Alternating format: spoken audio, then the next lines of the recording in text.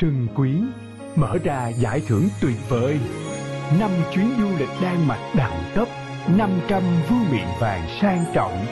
Danisa món quà tri ân. 30 giây nữa sẽ phóng A18 Pro Tất cả sẵn sàng chưa?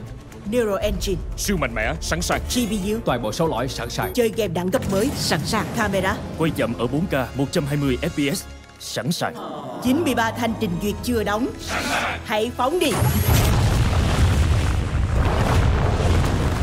Phóng thành công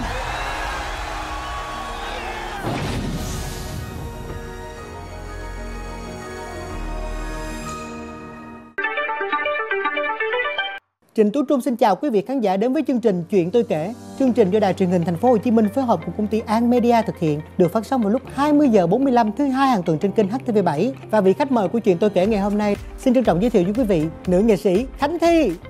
Xin chào Tú Trung và Khánh Thi cũng xin chào à, các khán giả của chương trình Chuyện tôi kể và ngày hôm nay á, thì cũng rất là mong những khán giả thân thương sẽ à, yêu Khánh Thi hơn sau cái câu chuyện mà Thi sẽ kể. Bây giờ ở ngay đây thì chị muốn kể chuyện gì cho khán giả nghe? Kể thì muốn kể nhiều lắm. Thực ra ở góc độ của Trịnh Tú Trung đi, nếu như Trịnh Tú Trung đặt mình vào vị trí của một người khán giả, vậy thì Tú Trung hiện tại thì sẽ muốn nghe gì từ chị?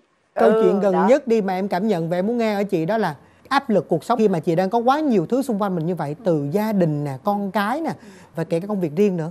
với Khánh Thi hiện tại á thì có thể nói là ở mặt công việc mình cũng tạm nói là mình có thể được làm, được chọn những gì mà mình đã đam mê và mình vẫn đang thực hiện nó và mình được làm nó.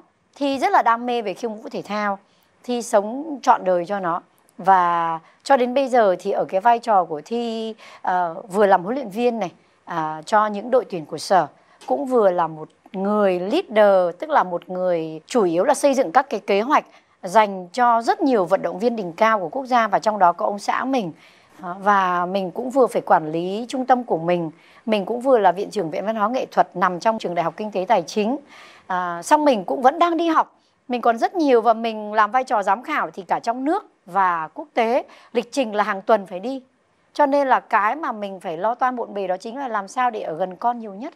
Chứ không phải là làm sao để hoàn thành các cái công việc kia một cách tốt nhất. Với chị chị luôn luôn cố gắng làm tốt nhất. Nhưng cái việc khó nhất đối với chị là làm sao ở gần con được nhiều nhất. Chúng ta luôn luôn cảm thấy là mình nợ con mình một điều gì đó. đúng đấy. Ừ.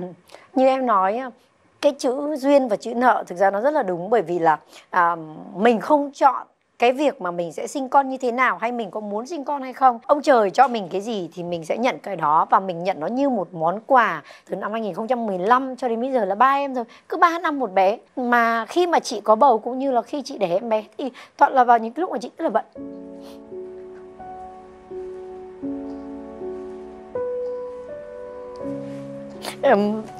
Và cho đến cái thời điểm này thì cuộc sống của mình rất là đầy đủ và ở trên báo chí cũng như là rất là nhiều người người ta khen ngợi này, người ta chúc phúc này. Nhưng mà để được như chị thì không ai hiểu. Chị không có nhiều thời gian dành cho mẹ Ừ.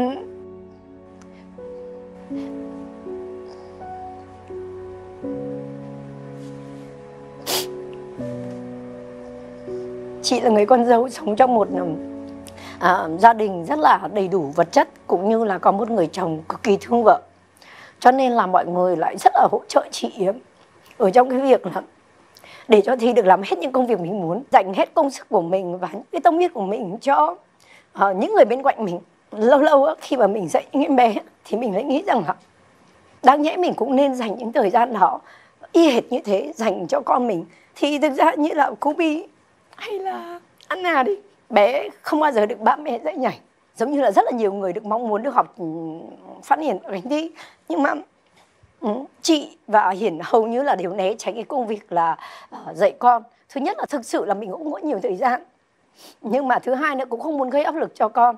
Với một người quá bận rộn á, quá chu toàn á, thì đôi khi cái mảng mà mình bỏ quên lại chính là những người gần nhất với mình khi mà cô Bi uh, đạt được ờ, những cái thành tích mà ngoài mong đợi của ba mẹ uh, con đã từng uh, vô địch thế giới hai năm liền ở cái lứa tuổi mà uh, không ai nghĩ là con có khả năng có thể đạt được. Có thể nói là em bé vận động viên nhỏ tuổi nhất của thể thao Việt Nam khi mà em đạt được uh, vô địch thế giới.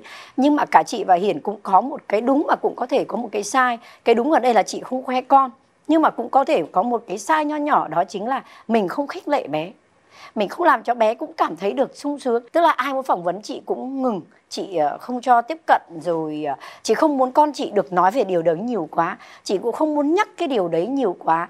Bé chỉ có được một cái lego để bé chơi thôi.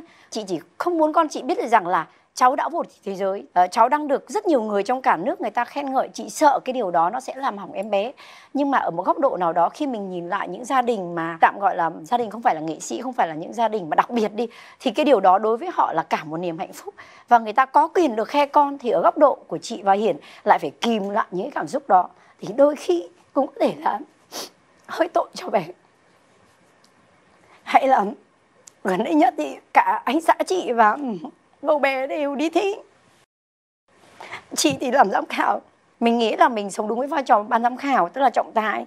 Mình không muốn chăm sóc con mình một cách quá đáng cũng không muốn chăm chồng mình cách quá đáng bởi vì mọi người nhìn vào mọi người có thể mọi người sẽ nghĩ là ừ, mình thiên vị hay là người nhà thì chắc chắn là phải chấm cho uh, gia đình mình được nhất hay là cái uy tín của chị và ảnh hưởng của chị sẽ làm cho tất cả các trọng tài khác người ta buộc phải uh, thiên vị một chút. Chính vì thế mà tự chị ờ, ngăn chị lại cái cảm xúc của mình. Ờ, những cái ngày mà chồng thi và con trai thi là chị hoàn toàn bỏ mặc, tạm lờ đi.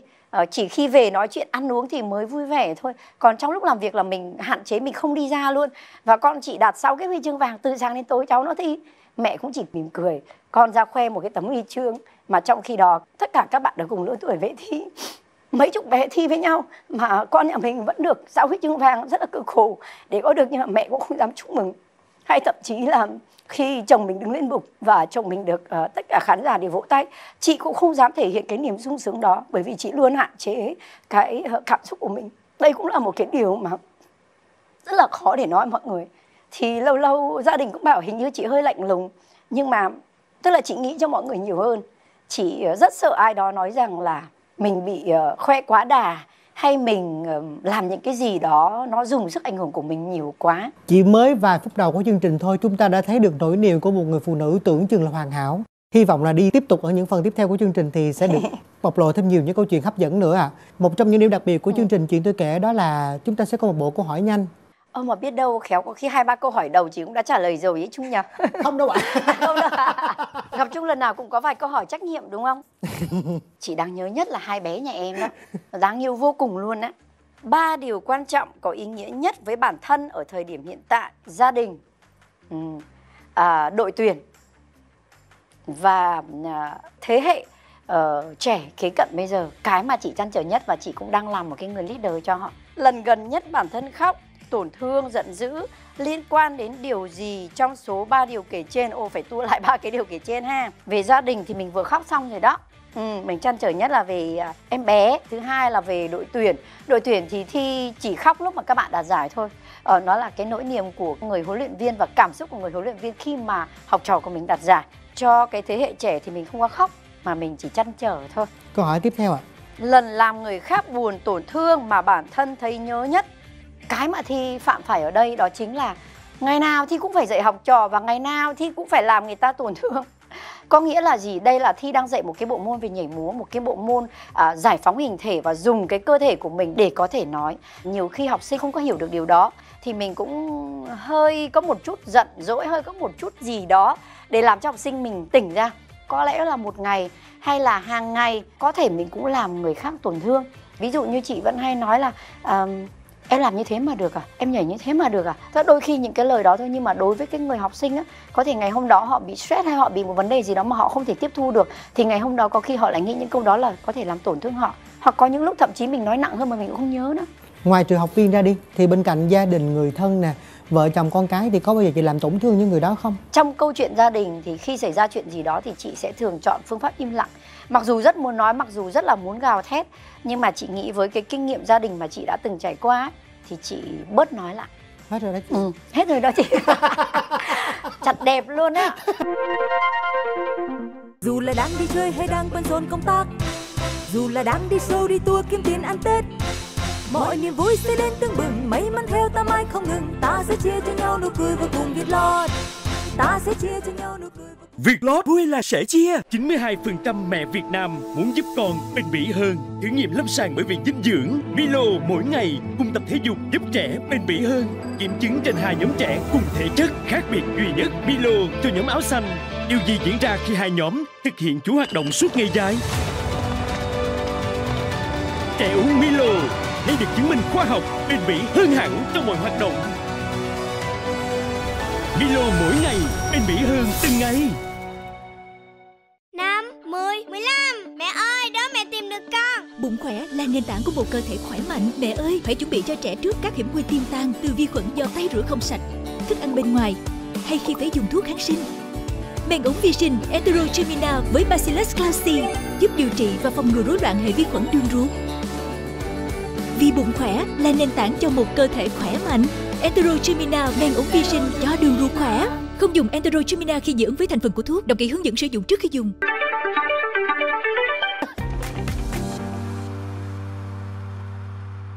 quay trở lại với lại à, những sự lựa chọn của chị đi đầu tiên hết chúng ta chọn đó là gia đình nè đội tuyển và thế hệ trẻ không phải ngẫu nhiên chúng ta chọn gia đình là sự lựa chọn ưu tiên của mình có phải là khi chị đạt được rất nhiều thành tựu rồi thì chị mới nghĩ là à gia đình mới là sự lựa chọn tốt nhất khi mà chị có tất cả, tại vì có những người họ chọn sự nghiệp đầu tiên, tại vì họ chưa có được điều đó. Đúng như Trung nói đó.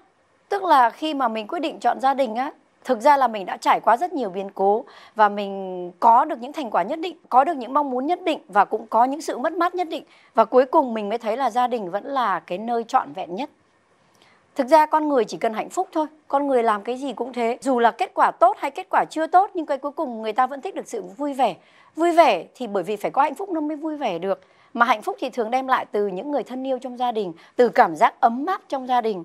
Nhưng mà để hiểu được cảm giác đó thì phải là một người trải được qua những cái đó. Từ trải nghiệm mình đã sắp xếp cuộc sống mình nó vận hành một cách rất là ổn định trơn tru thì không nghĩ là một người như chị lại có lúc phải khóc thì tại sao lại có những khoảnh khắc đó? Bởi vì mình thấy mình vẫn không hoàn hảo. Chị không khóc vì thất bại nha. Chị được tôi luyện trong cái cuộc đời làm thể thao chị được tôi luyện thế nào là thua thế nào là thắng và thế nào là kìm nén. Cho nên chị không bao giờ khóc trong thất bại. Chị chỉ khóc bởi vì là nhiều lúc chị rất là khó khăn để có thể giải quyết một câu chuyện gì đó và đặc biệt trong câu chuyện gia đình mà chị không cảm thấy nó hoàn hảo và trọn vẹn cho những người xung quanh thôi. Khán giả khi đang xem chuyện tôi kể tức là khi đang xem chuyện thi kể mọi người có thể thấy thi có một gương mặt đã được uh, trang điểm nhẹ uh, được mặc một bộ đồ đẹp uh, và tất cả mọi thứ thi được muốn được mình xuất hiện một cách hoàn hảo nhất uh, khi trước ống kính này. Nhưng mà khi thi về thi sẽ mặc một bộ đồ ngủ. Thi sẽ cởi bỏ make up và thi rất bình thường. Nhưng lúc đó phải nhìn thấy sự thật là mình đã 43 tuổi rồi. Đó mình có thể hoàn hảo trong mắt tất cả mọi người nhưng mình cần nhìn thấy thực tế là mình đã bắt đầu bước vào tuổi trung niên mình đã có con đã có gia đình và mình cần lắng lại.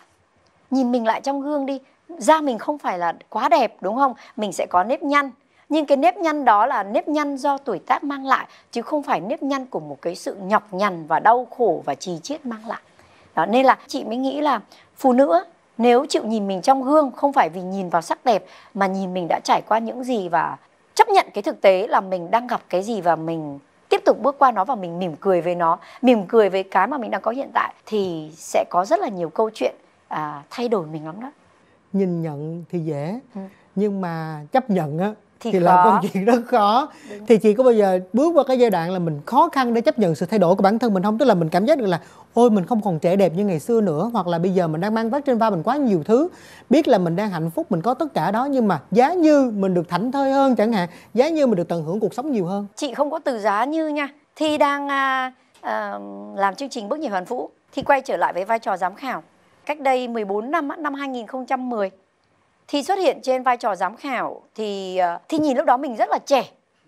Mặc dù trang điểm ờ, không có đẹp tất cả mọi thứ về gu thời trang thì không phải là một người quá tinh tế. Cho nên là thi xuất hiện trên truyền hình thi chỉ hay ở một cái là thi nhận xét và mọi người nghe cái lời nhận xét đó và mọi người thấy nó đúng. Nhưng không có nghĩa là thi quá đẹp hay thi quá mỹ miều mà nhiều người còn nói thi là thời điểm đó dán cả bây giờ.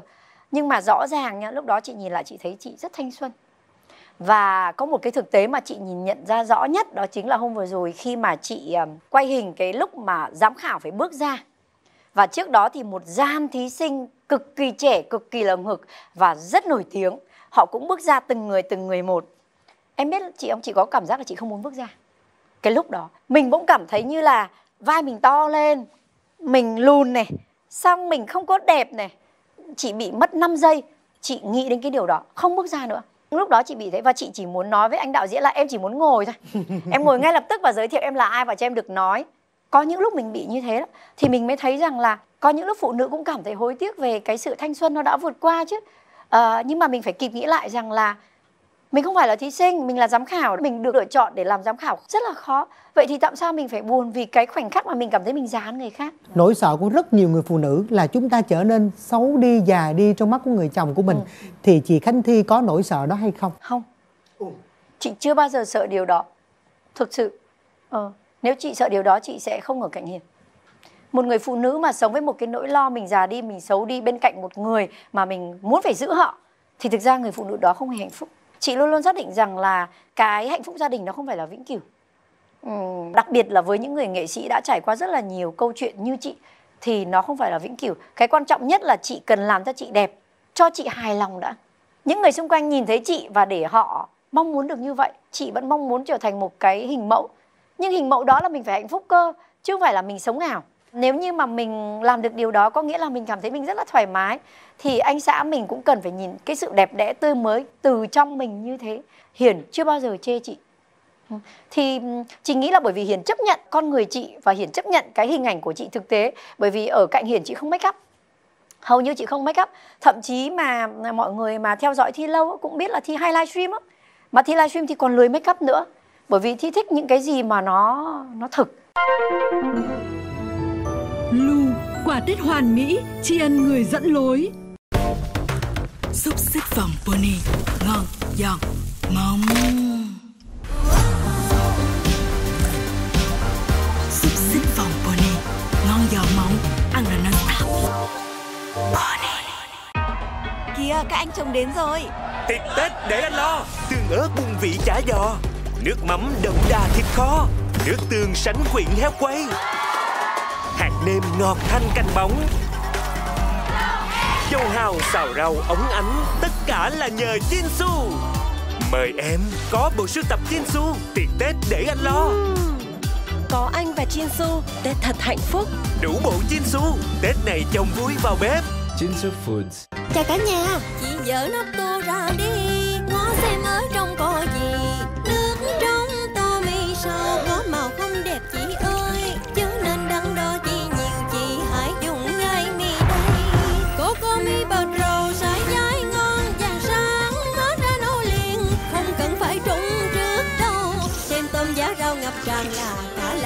đây nhà mình chuyển sang Cocomi Pro Cocomi Pro dai ngon vàng sáng không cần trụ. Kokumi Mua một tặng bốn Tặng bốn hộp sữa tươi ngon. Khi mua một thùng sữa tươi Vinamilk 100% Vắt mỗi ngày Tươi mỗi ngày. Mua một tặng bốn. Mẹ ơi mua ngay. Thân ra đường nhưng đầu óc vẫn trên giường. Trải nghiệm con gas Max Fresh Công nghệ đột phá mới. Với tinh thể cực the mát gas Max Fresh Ưng tỉnh táo cực the mát. Bốn bốn Tết này tặng thêm 4 lon trong mỗi thùng Pepsi, Mirinda. Tặng thêm 4 lon, Tết thêm tài lộc. Lem leng ngôi sao vàng. Vì sự hoàn mỹ trong từng giọt sữa, TH đã nỗ lực không ngừng xây dựng trang trại bò sữa tập trung, ứng dụng công nghệ cao lớn nhất thế giới. Tại đây đàn bò được ăn thức ăn từ 12 đến 15 món, được theo dõi sức khỏe bằng chip điện tử Avitat gắn ở chân, được nghe nhạc, uống nước sạch và tắm mát mỗi ngày, để cho ra dòng sữa tươi sạch tinh túy từ thiên nhiên. TH True Milk thực sự thiên nhiên. Anh, em có thể mời anh uống trà được không? Trà hả? Mời em Lại đây, lại đây Em là con gái, mời trà để anh Búp non thi 365 có đài hoa bột giấm đặc biệt cho người đặc biệt. Đài hoa bột giấm chứa chất xơ và polyphenol rất ngon, chua thanh, giúp nhẹ bụng. Em làm người yêu anh nhé Em đồng ý Tha hồ nhập tiệc, ăn uống thoải mái vì đã có trà búp non ti 365 có đài hoa bục giấm giúp nhẹ bụng. Trà búp non thi 365, đài hoa bột giấm giúp nhẹ bụng. Anh có quà cho em đó, xuống nhận nha Em, chưa có thanh toán Hiểu tình ý, dễ chia ly C2, ủ từ lá trà 100% tự nhiên Thanh khiết hương chanh tươi Thư giãn mát lành. Có C2, sao phải gắt? Đánh thức ta mỗi ngày là ánh ban mai. Hay cu quay cuộc sống. Mạnh mẽ hơn cả thế là hoài bão trong ta. Ngày qua ngày, từng ngụm Nescafe pha trong một đậm thơm thôi thúc từng bước tiến để ta mở ra một năm mới khởi sắc. Nescafe khơi mở thế giới của bạn. Nước xả vải Comfort thế hệ mới Tươi mát, bất tận Cùng những chất chăm sóc sợi vải Len lõi sâu từng kẽ vải Giúp áo quần tươi bầu giữ dáng Và bung tỏa hương thơm tươi mát gấp 10 lần Xả Comfort thế hệ mới Tươi mát, bất tận Esugon cải tiến mới với công thức tác động kép chứa IBG là beta glucan từ nấm men giúp tăng cường miễn dịch và HMB giúp tăng cường sức khỏe khối cơ. Esugon giúp tăng cường sức khỏe trong 8 tuần. Nay đã có chai uống liền tiện lợi, hãy thử ngay. Gầu và gãy rụng là bạn lo lắng Giới thiệu Clear chiến thảo dược cổ truyền mới Với chất xuất từ bồ kết, vỏ bưởi và nhân sâm Clear mới giúp sạch gầu từ gốc Ngăn gầu quay lại Giảm gãy rụng hơn 90% Clear chiến thảo dược cổ truyền mới Giá chỉ 85 nghìn. Hoa nở, núi rừng tan sương Tiếng trống hồi xuân Omachi mang mùa xuân đến mọi nhà. Hãy mang Omachi về nhà để mùa xuân rực rỡ xung quanh bạn. Omachi, rất ngon mà không sợ nóng. Đã. Cho người già thêm sức khỏe Các cháu nhỏ hân hoan Các chị em khoe sắc Omachi khỏe trong đẹp ngoài cho mùa xuân hạnh phúc. Mang Omachi về nhà Mang mùa xuân về nhà Tin chọn ngân hàng K-Bank, ngân hàng bán lẻ tốt nhất Thái Lan 15 năm liên tiếp. Người ta hay nói nôm na là chúng ta nhìn vào ánh mắt của người phụ nữ á, thì sẽ đoán được người đàn ông của họ là người như thế nào. Không hẳn đâu nha. Không hẳn đâu nha. Vậy thì bây giờ theo chị nghĩ đi, ở Hiển có đức tính nào mà khiến cho chị cảm thấy thật sự rất là yên tâm? Khi mình có già đi xấu đi mình có thay đổi thì mình vẫn có một hạnh phúc như thế. Không chị không yên tâm gì về Hiền Không chị không thực sự yên tâm luôn đó Chị nghĩ là như thế này này. Đàn bà khi mà ngồi với nhau á Ngồi trên một mâm cơm Hay là ngồi trong một cái quán cà phê á Đàn bà nói được nhiều chuyện thật lắm. Đàn ông cũng thế thôi. Ở đó họ sẵn sàng nói thật Thật 100% về chính những người bên cạnh gia đình mình ờ, Vợ hoặc chồng đi Nhưng mà ngồi trước ống kính hay là nhiều khi vẽ vời ở trên Facebook ấy mà Thì nói thật nhân 50% thật thôi cho nên nếu như mà nói thẳng vào câu nói của Trung là người phụ nữ hạnh phúc á, là nhìn vào cái người đàn ông bên cạnh á, thì bảo không phải đâu. Người phụ nữ hạnh phúc là người biết lo cho chính bản thân mình, biết kiểm soát cảm xúc và biết có kinh tế cho mình, cho con và cho cả chồng. Và người chồng bên cạnh hay là gia đình bên cạnh là 50-50. Chưa chắc bên cạnh hạnh phúc của người phụ nữ là người đàn ông đúng không? Giờ quay ngược lại đi. Chắc chắn sau lưng thành công người đàn ông đó có bóng dáng của người phụ nữ đó. À, cái đấy lầm nha. Chị đã từng vấp phải câu nói đó với đúng Hiển luôn. Ngày xưa có một lần chị rất là giận Hiển bởi vì là khi mà Hiển đạt huy chương vàng SEA Games à, ở Philippines, chị ngồi nói chuyện trước mặt bạn chị và trước mặt cả chồng chị. Chị bảo là cái thành công của Hiển là trong đó góp phần của chị rất nhiều và không có chị thì Hiển không thể đạt được cái đó. Tức là lúc đấy chị mạnh miệng chị nói như thế. Em có biết ông ghi một năm. Ông bảo là chứ, ờ vạch ra kế hoạch nhưng mà tướng mà không đi ra trận thì làm sao mà đánh được. Ý ông bảo là chị chỉ là người quân sư thôi còn ông ấy phải là người đấu trên thực tế mà. Tức là ông nhảy thật và ông ấy chiến thật, chứ không có giả vờ, không phải là nhờ bà thi mà ông nhảy thật. Sao ông mút mồ hôi như thế, ông nhiều khi ông còn hay nói vui miệt bỏ sư đi. Cứ ra thử thì biết. Người ta chưa chắc đã công nhận mình đâu. Thế nên nhòa hiển rất trân trọng chị, nhưng mà để mà mình nói những cái điều đó thì đôi khi nó lại là một cái sự chạm nhẹ với cái người đàn ông của mình. Thế thành ra sau này, chị không bao giờ nói điều đó nữa. Chị âm thầm hỗ trợ nhưng mà chị vẫn phải công nhận là một người có vạch kế hoạch giỏi đến mấy mà cái người mà thực hiện không giỏi ạ cũng rất là khó. Anh xã chị là một người uh, sống nội tâm hiển không phải là một người thích nói và nhiều khi nói cũng không khéo. Thứ hai nữa là hiển không thích phô trương. Nhưng mà cái mà hiển uh, ờ, phải làm đó chính là mang lại thành tích cho quốc gia mỗi một lần hiển mang lại một cái huy chương nào đó thì mọi người cũng sẽ ca tụng một chút chứ. Đúng không? Nhưng mà uh, để dụ được ông ý làm cái điều là phải cố gắng tập nữa cố gắng cùng với vợ xây dựng cái bộ môn này và cố gắng cùng với vợ gìn giữ cái bộ môn này và phát triển nó. Thì không bao giờ chị nói một câu là chồng ơi làm đi chồng ơi thế này nọ nhá. Chị cứ lừa lựa lừa lựa. Đó xong rồi chị lại đưa những cái ngày ra xong chị cũng phải nịnh đầm ông ấy nhiều lắm. Mình luôn luôn tạo cho người ta cảm thấy rằng là người ta thích làm cái điều đó với mình chứ không phải là một cái sự bắt buộc. Và lâu lâu chị cũng nhìn thấy hiền cảm thấy là đang có những cái sự bắt buộc thì chị lảng lảng tránh đi. Chị bớt cái công việc đó đi chị giảm bớt nó đi. Và khi nào mà chị thấy ông ấy hứng lên thì chị lại tăng cái việc đó lên. À, tức là mình buộc phải như thế. Hay là thời gian gần nhất ở đây này thì có một cái trường đại học có lời mời cho Hiền đến làm phó giám đốc về thể thao thôi. Tức là những chỉ là trong khả năng của Hiền có thể làm. Hiền vừa nghe xong một cái Hiền bảo thôi chồng không làm đâu. Thế xong chị lại phải tỉ tê. Chị bảo là không anh không phải là hàng ngày phải vác cái cặp đến và ngồi ở văn phòng. Anh cũng không phải là một người phó giám đốc để ký giấy hay là một cái gì hết. Mà thực ra anh đến với trường á là anh nghĩ ra được thật nhiều kế hoạch để hỗ trợ cho sinh viên trường đó. Người ta tham gia bộ môn này bộ môn kia nghĩ thật nhiều ý tưởng. Tức là mình lựa làm sao mà để ông ấy cùng đồng hành phải lựa. Chứ không phải uịch một cái là bảo anh ấy làm đâu. Trong chị khó lắm mà đến bây giờ vẫn chưa nhận lời. Đó. Tinh tế nè khéo léo nè thì bây giờ làm sao để mà rút được kinh nghiệm? Có một người chồng nhỏ tuổi hơn mình mà có thể xây dựng một hạnh phúc bền vững và lâu dài như thế. À cập nhật đi em. Trời ơi, đơn giản thôi. Người ta trẻ hơn mình có nghĩa là người ta sẽ cập nhật được nhiều cái hay hơn mình ở cái góc độ của người ta. Mình đừng có ôm những cái cũ mà mình nói rằng là tôi đã được học cái này, cái kia. Người ta cũng được học mà. Mình cập nhật đi. Xu thế làm gì thì mình nên cập nhật để mình hòa nhập được với người ta. Chị đơn giản thế thôi và đôi khi chị cũng tìm hiểu xem Kubi đang chat với ai Kubi cũng biết vào Zalo, Kubi cũng biết xem TikTok, Kubi tự biết quay TikTok. Nhưng mà nếu mình cấm là sai, mình phải cập nhật theo để mình học và cái gì khuyên con nên và không nên. Và với ông xã chị cứ tưởng là chị là người rất là ham thể hiện ham showbiz đó. Nhưng mà không ông ấy mới là người tìm cái trend cho chị. Nhiều khi cứ bảo vợ ấy quay này kia đi. Không nhiều khi chị còn quạo lên đó. Chị không quay á đó. Nên chị bảo nếu mà không cập nhật á mình là người thụt lùi thụt lùi trong chính gia đình của mình. Để xây dựng câu chuyện hạnh phúc gia đình á nó không phải là câu chuyện của một người.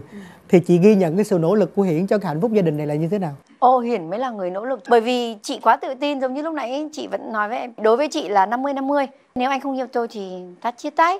Cho nên Hiển lại là người uh, tự thấy rằng là mình đang gặp phải vấn đề gì Hiển giải quyết cái khó khăn đó. Người phụ nữ á, luôn luôn trong lòng á, ở một góc độ nào đó mình sẽ vẫn muốn chu toàn nhất có thể. Hoặc là mình nén cái này một chút mình nhịn cái này một chút nhưng để chu toàn mọi thứ. Nhưng mà đấy là tự dưng là mình giảm cái tôi của mình xuống. Để người đàn ông á mà họ vun đắp và gìn giữ gia đình thực ra đó mới là một cái gia đình hạnh phúc chị nghĩ thế, cho nên là mọi người có thể nhìn thấy là thi dạng dỡ không phải là bởi vì thi cố gắng vun vén hạnh phúc gia đình, mà là do hiển là người vun vén hạnh phúc gia đình. Chị rất sợ cảm giác là mình tiếp tục dạy. Nếu mà mình tiếp tục dạy, tiếp tục nói, tiếp tục chỉ bảo, thực ra mình đang làm cô giáo đó. Và mình hình như đang lặp lại cái cuộc sống cũ của mình và hiển trước đây. Thế cho nên là đôi khi có thể là sai, đôi khi có thể là không mỹ mãn và đôi khi có thể là chị không thích lắm.